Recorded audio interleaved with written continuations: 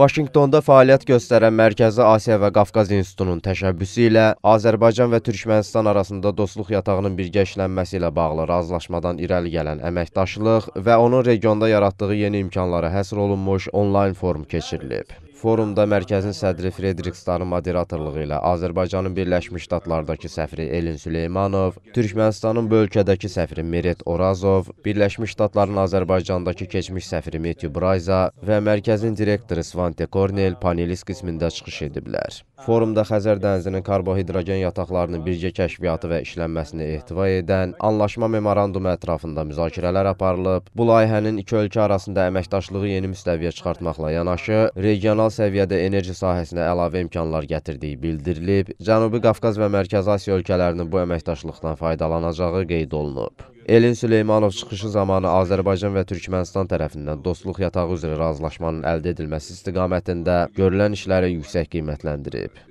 Səfir razılaşmanın hər iki ölkənin milli maraqlarından və ölkə rəhbərlərinin siyasi iradəsindən qaynaqlandığını diqqətə çatdırıb. Elin Süleymanov vətən müharibəsindən sonra regionda baş verən dəyişikliklərin nəqliyyat, enerji və iqtisadi sahələrdə əməkdaşlığın genişləndirilməsinə və ümumilikdə regionda sabitliyin qorunub saxlanmasına imkan yaratdığını qeyd edib. Türkmənistan səfiri Meret Orazov Azərbaycan və Türkmənistan arasındakı əməkdaşlığı regionda sabitlik və inkişafın əsas elementi olaraq qiymətləndirib, ölkəmizin Türkmənistana hər zaman dəstək olduğunu qeyd edib.